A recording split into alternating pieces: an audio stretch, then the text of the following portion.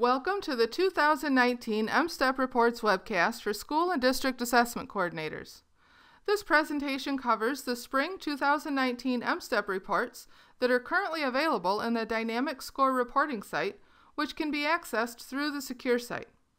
If you need access to the Secure site, please go to www.michigan.gov/mstep and select the Secure Site Training Documentation link that is found under the Professional Development heading. In this presentation, I will begin by building some background regarding the type of data that is included in the reports on the Dynamic Score reporting site, as well as the difference between the overall performance levels and the claim performance indicators that are provided on the English Language Arts and Mathematics reports. I will review the different types of data that are provided in the various reports in the Dynamic Score reporting site. Next, the difference between performance level scale scores and claim performance indicators is examined and discussed. Then I will discuss the growth data that is provided on the MSTEP reports. When I discuss the reports, you will see what data is included in the student level MSTEP reports, followed by the aggregate level MSTEP reports. Finally, I will discuss the reports that will become available later this fall. There are two types of data reported in the MSTEP reports, student level and aggregate or group data. It is important to note that the type of data determines how the data in a report is appropriately used. Here, we have the two types of data, student level and aggregate. Student level data is data reflecting one student's performance on the MSTEP. It provides the educator with a snapshot of what a student knows and is able to do relative to Michigan's academic standards at one point in time. Aggregate data reports measure groups of students' performance relative to Michigan standards at one point in time. This data can be used to look at program effectiveness, curriculum alignment, how a building's program is serving students in different demographic groups, or how a program serves students in one grade level over time. It can also be used to compare program effectiveness with one building compared to another building in the district, compared against the district as a whole, or even the state. It is important to note both student level and aggregate data are important and necessary when considering the education schools provide Michigan students. However, Keep in mind the different types of data are intended for different purposes and should be used accordingly. Next, we will discuss the performance levels and claim performance indicators. The MSTEP reports provide information on what a student knows and is able to do in a content area as a whole, as well as for the claims that are within each content area in mathematics and ELA. Performance levels and claim performance indicators are what are used to report this information. Let's see what you already know. Pause this video and take a moment to write on a scratch paper. What are performance levels and what are claim performance indicators? Think about what they are, how they are the same, and how they are different.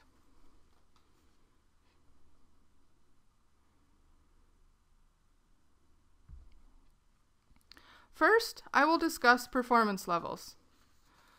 This slide lists and defines each of the overall performance levels for grades 3 through 8. These are based on the scale scores that determine whether a student scored advanced, proficient, partially proficient, or not proficient in the assessed content area. Each of these performance levels are based on what students know and are able to do based on Michigan's content standards. They are descriptors of content area performance. An advanced proficiency level indicates that performance has exceeded grade level content standards. Proficient indicates performance that meets grade level content standards. Partially proficient indicates performance that shows a partial understanding of grade level content standards. And not proficient indicates performance showing a minimal understanding of grade level content standards. There's a document on the MSTEP webpage at www.michigan.gov/mstep under the reporting section called MSTEP and MME performance level descriptors that provides this information and information about all assessment performance levels. This is a sample of the performance levels as seen on the individual student level MSTEP reports. The scale score ranges for each performance level are shown below the graph.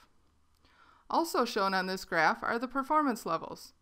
Not proficient is shown in red, partially proficient in yellow, proficient is shown in green, and advanced in blue. These are the three claim performance indicators.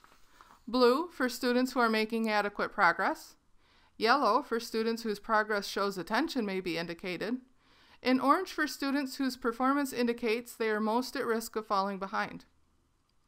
It is important to note that claim performance indicators are measured on a different scale than overall performance, and student claim scores are divided into three categories compared to four performance levels. For this reason, it is possible that a student could earn proficient or advanced performance levels while receiving attention or at risk claim performance indicators. This is an example of the claim performance indicator bar. This bar provides context to the student's claim performance by showing the student's claim level performance relative to the range of possible performance for each claim. If a student scores attention on a claim, the educator can see on the bar where in the range of scores for this indicator the student scored. In the next slides, I will review growth score terms and the drill down feature of the dynamic score reporting site. Student growth data is reported on the individual student report, student overview, and student roster reports. Terms associated with growth data are student growth scores, growth target scores, and growth target time frame. Student growth scores were previously called student growth percentiles, or SGP.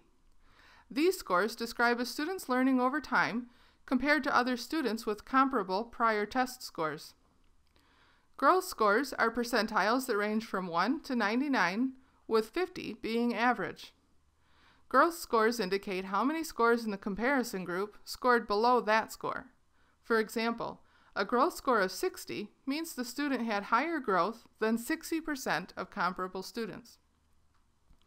Growth target scores were previously called adequate growth percentiles, or AGP. These scores represent the amount of growth necessary to reach or maintain proficiency within a set time frame. Growth target scores also range from 1 to 99 and represent the amount of growth a student needs in order to reach or maintain proficiency by the end of the growth target time frame. Consider a growth score of 80. This score means that the student must maintain a growth score of 80 or above in order to reach or maintain proficiency by the end of the growth target time frame. The growth target time frame is the amount of time the growth target model is projecting for the student to reach or maintain proficiency. Growth target timeframes range from 1 to 3 years. This slide shows you the drill down path that is a feature of the Dynamic Score Reporting site. As a note, users can begin drilling down on any report that has the drill down feature. It is not necessary to start at the comprehensive report. The user can select the school name on the comprehensive report to open the school demographic report for that school. The school demographic report drill down enables the user to select the link in the number of students assessed column to open a student roster report, which includes the students represented in the aggregated group. While in the student roster report, the user can drill down further by selecting the student name to open an individual student report. Once a user is in the individual student report, selecting the student's growth score will drill down to open the Student Growth and Proficiency Report. This path applies to all reports except Grade 3 ELA and Math and Grade 5 Social Studies. If growth data is not available for an individual student, the growth score is NA. There is no active link to drill down. After a user has selected the link to drill down into the next report, a breadcrumb area appears below the ISD district school entity information. Each report name in the breadcrumb is an active link. To return to any previous report, the user selects the report name in the breadcrumb. Next, we will discuss the M-STEP reports that are available in the Dynamic Score Reporting site. This slide lists the aggregate re data reports. Aggregate reports report the performance of groups of students and are helpful to educators in reviewing the effectiveness of programs and curricula in schools. The comprehensive report provides a comparison of student achievement among schools within a district. The demographic report provides a comparison of student achievement across demographic subgroups such as gender and race or ethnicity. Both the demographic report and the comprehensive report summarize the mean scale score and performance levels for the total number of students assessed. The Expectation Analysis Report provides detailed information on student performance in social studies. This report shows the number of students falling within identified percentage ranges of points earned over points possible for social studies only. The Target Analysis Report provides relative strength and weakness information on target level performance for English language arts and mathematics.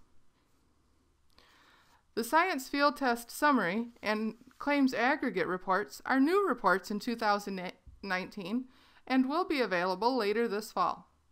The Science Field Test Summary report will display a box and whisker graph that shows aggregated raw score percentage quartiles and will include the mean and median of percentage of points earned.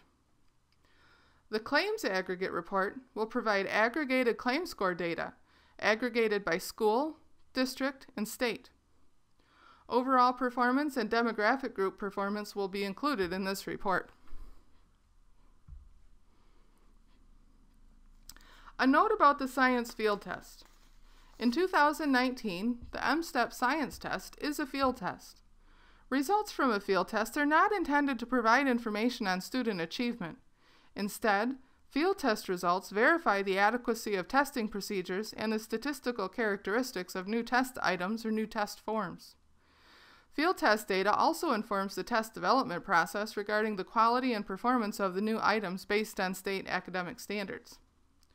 So, the science field test reports, which will be available after the initial release of reports, will display district and state level aggregate raw score data.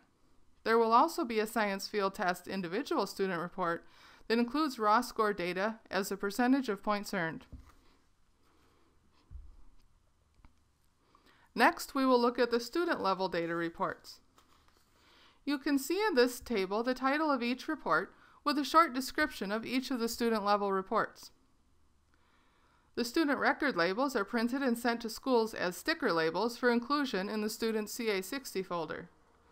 Additional copies are available on the secure site by selecting student record labels from the Reports drop-down menu. They summarize student performance levels in each content area assessed. Individual student reports, also called ISRs, are reported by each content area assessed. A student has a different ISR for each content area. Parent reports summarize student achievement by content area and are printed and sent to schools to be delivered to parents. This report includes a letter from Deputy Chief Superintendent Sheila Alles to parents regarding the report results and provides resources for parents. The student roster report provides overall proficiency information for the aggregate groups and for the rostered students. And it also includes student level achievement data for educators in a sortable form. Educators can sort and filter by student name, scale score, an ELA or mathematics claim or social studies discipline while in the dynamic score reporting system. The student overview provides scale score, performance level, and claim or discipline information in a summary format for all content areas assessed. The Student Growth and Proficiency Report and the Science Field Test Individual Student Report are new reports for 2019 and will be available later this fall. It will provide student achievement and growth data, including scale score, performance level, student growth score, growth target scores, and target time frame. The student scale score is plotted against the growth data. The Science Field Test Individual Student Report will provide raw score data by the percentage of points earned overall. This section will discuss in more detail the aggregate level student reports which include the comprehensive report, demographic report, target analysis report, and expectation analysis report. data on the MSTEP aggregate reports is no longer suppressed for fewer than 10 students.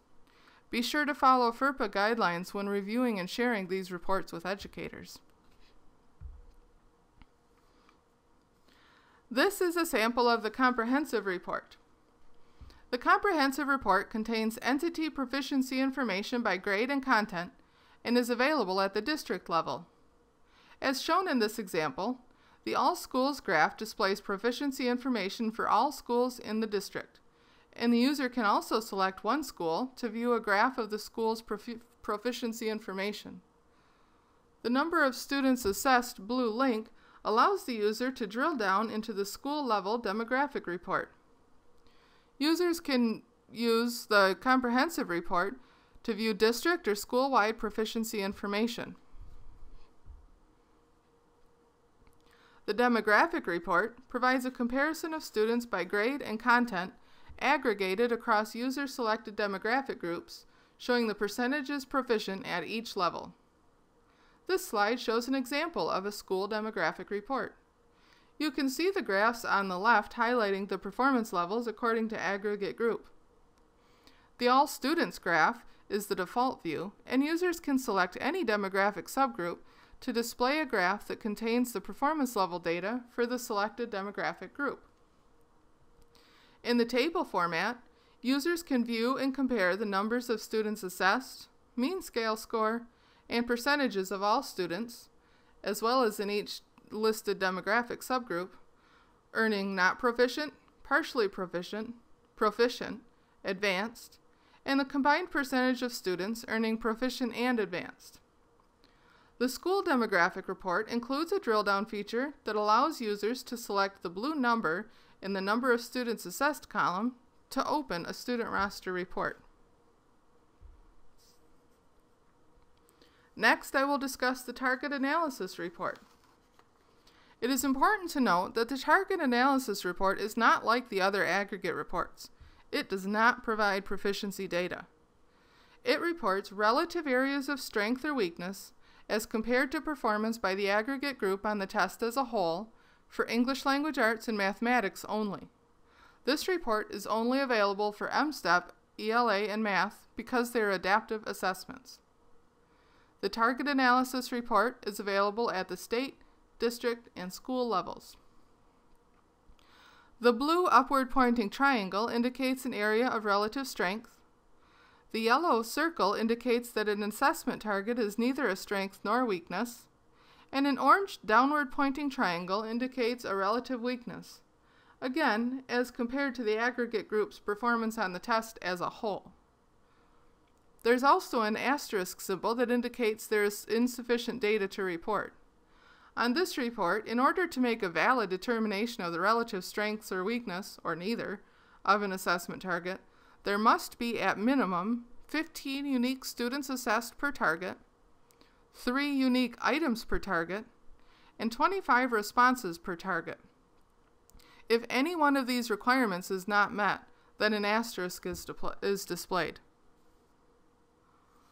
The number of students assessed is displayed for the report. Next, the claim is displayed, followed by a list of assessment targets within each claim. The assessment targets are mapped to the claims and Michigan's academic standards in the crosswalk documents that are available on the MSTEP webpage at www.michigan.gov/mstep. You can view these documents to see how the claims, assessment targets, and content standards are grouped. The right column displays the symbol representing the relative strength and weakness indicators for each assessment target. The target analysis report can be used to determine relative areas of strength and weakness for the represented aggregate, aggregate group, and it can be helpful when analyzing your survey of enacted curriculum. The expectation analysis report provides the percentage of points earned by grade and content area expectations in each discipline. This report presents social studies data only for grades 5, 8, and 11. The report provides an overview of performance by content expectation. However, users should keep in mind that the number of items assessed on each expectation may be small. The table identifies the associated expectation assessed. Next, the number of students assessed in each expectation, the average percentage of points earned, and the number of students scoring in one of four percentage groupings 0 to 25%, 26 to 50%, 51 to 75%, and 76 to 100% are displayed. In this section, we will identify the information provided on the student level reports, the individual student report, the parent report, student roster, and student overview report. Student level reports contain federally protected student information. Therefore, the information in student level reports must be used in accordance with the Family Educational Rights and Privacy Act, or FERPA. All of the images used in this presentation have been de-identified and use mocked up data so that no actual student performance information is shared. This is the individual student report with identifying information removed for privacy purposes. There are three main sections in the ISR, the student demographics section, the overall performance level and scale score, and the claims or discipline for social studies. First is the entity information and the student demographic information. This section details the school, district, and ISD where the student took the test. Next is identifying information about the student. You will see the student's name, grade, gender, date of birth, ethnicity, whether the student has a disability, is an English learner or former English learner, and whether the student received any designated supports or accommodations when taking the M-STEP. In the second area, you will see the overall content performance. This example is an ELA report. The student scale score is listed, 1704, and the student's performance level is indicated, in this case, proficient. You can also see the margin of error for the student's score displayed in gray. The margin of error shows the possible range of scores the student would be expected to receive if he or she took the test again on another day. In this case, we would expect the student score to be plus or minus 6 points of 1704, which is 1698 to 1710. Along the bottom of the performance scale, you can see the scale score ranges for each performance level. 1618 to 1678 for not proficient, 1679 to 1699 for partially proficient, and so on. Next, you see in table form the scale score, margin of error, performance level, growth score, SGP, growth target, AGP, and growth target timeframe. Growth score data will be available after the initial release of reports. The third section has detailed information on claim performance. You will recall from a previous slide that the claim performance indicators are indicators of performance within each claim. The claim performance indicator bar shows how the student performed on the claim relative to the range of possible performance on that claim. In this example, you can see that the student has earned attention for the reading claim, adequate for writing, and attention for both the listening and research claim. Again, the claim performance indicators are used only for English language arts and mathematics. Because these are computer adaptive tests, raw score data, that is, points earned out of points possible, is not a valid representation of student achievement on a computer adaptive test. Below the claims area on the ELA reports only, the student's passage-based writing prompt raw score is displayed. This sample student earned 4 points out of 4 points possible. This individual student report is a social studies report. What is different for social studies from the ELA and mathematics reports is the disciplines reported. You can see that instead of claim performance indicators, there are raw scores reported, points earned and points possible sorted by discipline. In social studies, the disciplines are history, geography, civics and government, and economics. Raw scores are not comparable across different forms of the test. For example, 4 points out of 7 possible points for student A is not the same as 4 points out of 7 points possible for student B because raw scores are not equated across test forms. Also, when reviewing raw score data with relatively small numbers of items, be sure to use caution when making instructional decisions.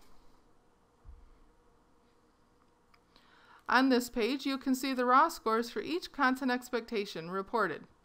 The discipline level is also reported, as it was on page 1, showing which assessment expectations belong with which discipline. In this example, the expectations highlighted are in the history discipline. As you go down the column of raw scores for each assessment expectation, you can see which expectations were answered correctly and which were missed by this student. Remember that this report provides detailed student achievement information about what a student knows and is able to do at one point in time. It is important to use formative assessment, classroom observation, and other local data when making instructional decisions for individual students. Summative, standardized statewide assessments are intended to provide information about school and district, information about student achievement for use in program evaluation, and to inform school improvement initiatives or curricular decisions. Parent reports are printed and sent to schools to be distributed to parents. The parent report begins with a superintendent letter. This letter describes the information that can be found in the parent report and provides resources that are available to parents on MDE's MSTEP webpage. Science field test data are not included on the parent report. The superintendent letter contains an explanation for parents regarding the science field test. On page 1 of the parent report is the overall performance information for English language arts, including the scale score and the associated margin of error. Next is claim performance information. Below the claim information on page 1 are definitions for common assessment specific terms found on the parent report. This includes a definition for claims, disciplines, claim performance indicator, and margin of error. Page 2 of the parent report includes the overall scale scores for the remaining content areas tested. This example is a fifth grade report, so ELA was reported on page 1, Mathematics on page 2, and Social Studies is also on page 2. At the bottom of page 2 are the definitions for the performance levels advanced, proficient, partially proficient, and not proficient. Please go to www.michigan.gov/mstep for a parent report video that reviews the parent reports in further detail. Next, we have the student roster report.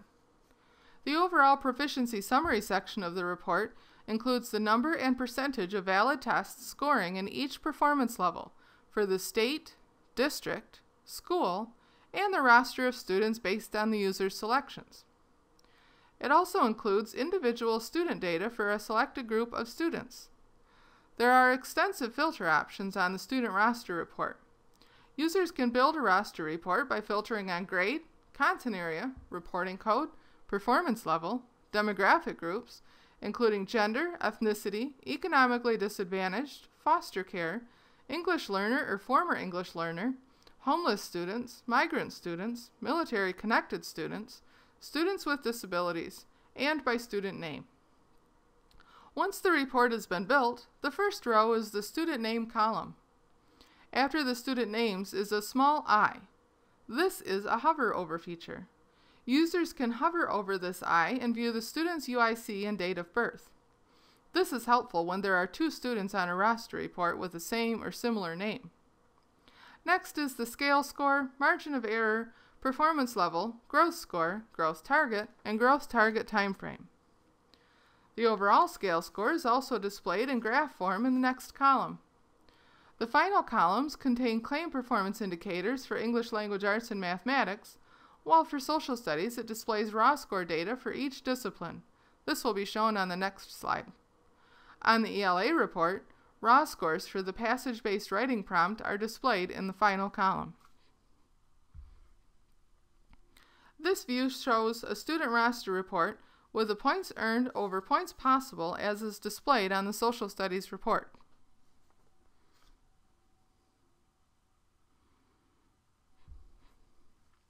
This view shows a student roster report that has been sorted by scale score by the user. There are multiple sort options on the student roster report. The student list defaults to alphabetical order. By selecting the word students, the list of students sorts to reverse alphabetical order. Selecting a second time sorts the reports back to alphabetical order. Users can also sort by scale score, shown here. Selecting the words scale score will sort the reports from highest to lowest scale score. Selecting a second time sorts the reports from lowest to highest. Users can also sort by growth score, growth target, or target timeframe by selecting the blue column heading for each column. Another sort is the claim level sort. Each claim descriptor is blue, indicating they are links. The user can select a claim and sort by performance level indicator within that claim. Finally, on the ELA report, users can sort on the passage-based writing score by clicking the column header, passage-based writing, points earned out of points possible. Users can also select a student name to drill down into the individual student report for the selected student. This is the Student Overview Report. It provides summary student level data for each content area in which the student tested on a single page. This fifth grade sample has English Language Arts, Mathematics, and Social Studies data. There are three sections shown in the Student Overview Report. First is the scale score graph. Like the other reports, the scale score is reported, along with the scale score ranges shown below the graph, the margin of error is represented by the gray band in the performance level graph. Next, the scale score, margin of error, performance level, growth score, growth target, and target time frame are all reported in the table below the graph. Finally, claim performance indicators are reported for English Language Arts and Mathematics, and raw score data is reported by discipline for social studies. Next, I will show you a preview of the reports that will be available later this fall.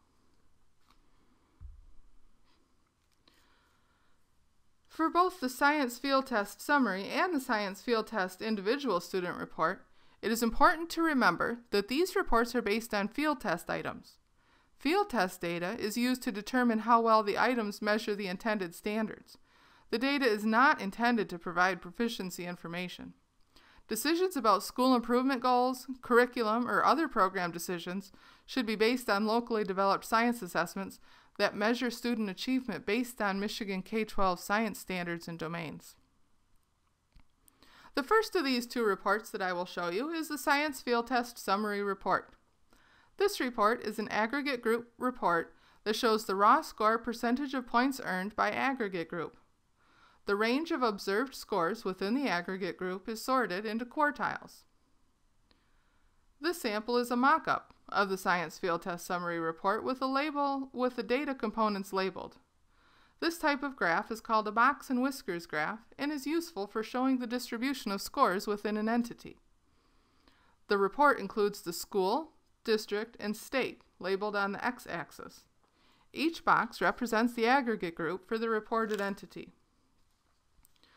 The blue box in the graph represents the interquartile range, that is, the range of scores observed in the quartile groups 2 and 3. A quartile is one of four equal-sized groups that the observed scores in the aggregate group are sorted into. There are the same number of students in each quartile who earned a score within the represented score range.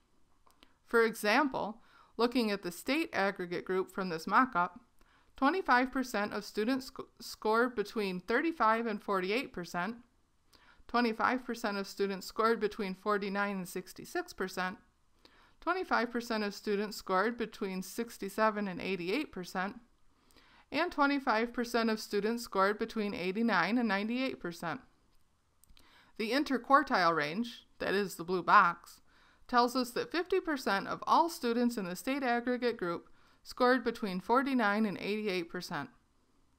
The whiskers extending above and below the box represent quartile groups 1 on the lower end and quartile group 4 on the upper end.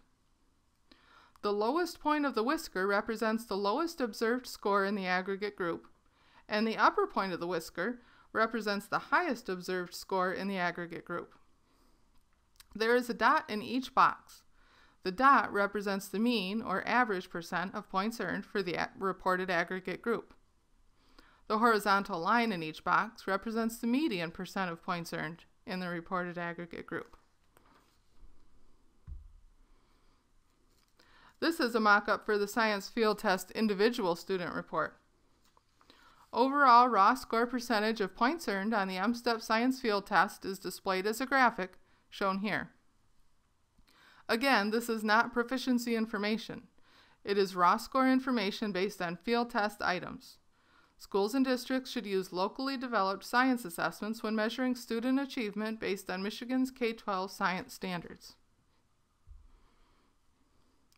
Here you see a mock-up for the claims aggregate report. The claims aggregate report is for ELA and math only because social studies has disciplines, not claims. In the top of this report is the claims summary area. Each claim is listed in a row and the number of valid tests, followed by the percentages of students in each claim performance indicator category are reported in a table. The percentage most at risk of falling behind, at attention may be indicated, and adequate. The final column displays the same data in graphic form, showing the percentages of valid test scores in each claim performance indicator. The hover feature will show the number of valid tests and percentage for each claim performance indicator. Next, each claim is reported by demographic group. The claim is listed on the table and the percentages of each claim performance indicator are displayed for the whole aggregate group and for each reported demographic group. The demographic groups in this report are the same demographic groups that are reported on the demographic report. There will be a separate table and graphs for each claim in each content area, ELA and mathematics. The graph displays the percentages of students at each claim performance indicator for all students, and you can select any demographic group to view a graph with the percentages in each claim performance indicator.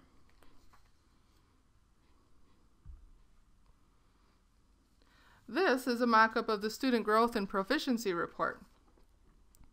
First, displayed is the overall performance level and scale score for the content area. This is displayed in graphic form and in table form. The table includes scale score, margin of error, performance level, growth score, growth target, and growth target time frame. This section of the report is the same as displayed on the individual student report. Next, the student's growth data is displayed in a graph. The x-axis represents the growth scores, labeled 0 to 100 at 10-point intervals. The y-axis represents the scale score, labeled at each performance level cut. You'll notice two bold black lines. The vertical black line denotes the 50th percentile in growth scores and divides lower growth and higher growth. On the y-axis, the bold black line represents the proficient performance level. Students below this line have not met proficiency, and students above are proficient or advanced. Each category of the graph is displayed by the color variations that are labeled to the right of the graph. The lower left box represents lower growth and lower achievement. The upper left graph represents lower growth and higher achievement. On the lower right, you can see higher growth and lower achievement and in the upper right is higher growth and higher achievement. The black dot in the graph represents the reported student's growth score plotted by scale score. The growth target is noted by the dotted yellow line. This is the student's target growth in order to reach or maintain proficiency within the identified time frame that's reported in the table. In this sample, the student is in the lower growth higher achievement category and the growth target line indicates that in order to maintain proficiency, the student needs a growth score of 22. At the bottom of this section is a legend that provides definitions for growth score, growth target, and growth target timeframe. Finally, if you aren't already getting the spotlight in your email every Thursday, be sure to sign up. You'll receive weekly up-to-date information about upcoming deadlines, assessment task reminders, updates about the administration of the assessments, report information, and much more. You can follow the link on this slide or go to the M-STEP webpage at www.michigan.gov/mstep and scroll down to select the spotlight icon to sign up. If you have any questions, feel free to contact us by email at mde-oeaa at michigan.gov or by phone at 1 877 560 8378 and select option 3. Thanks for watching.